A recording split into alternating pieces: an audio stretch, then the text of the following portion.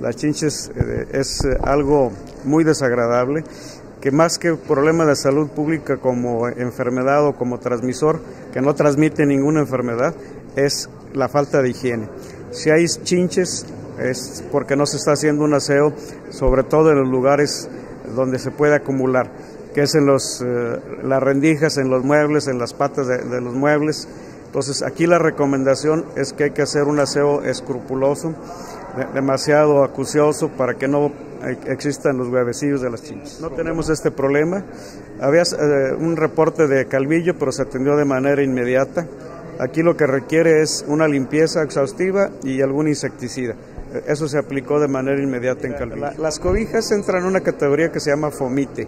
¿Qué es el fomite? Son artículos inanimados que son capaces de transmitir enfermedades.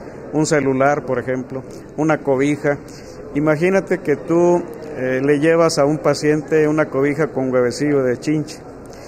Ahí es el lugar donde se infesta y donde se puede desarrollar una gran cantidad. De hecho, eh, estamos haciendo también una medida muy importante para el dengue. Donde tenemos un caso identificado de dengue, que es un paciente que esté hospitalizado, lo estamos cubriendo con pabellones, porque en todos los hospitales hay zancudos, como en todos los lugares.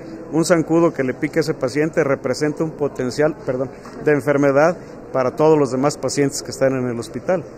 Entonces, los fomites es un elemento a considerar muy importante, ¿eh? no hay que perderlo de vista. A veces la gente piensa que se prohíbe las cosas de manera arbitraria, pero tiene un fundamento sanitario.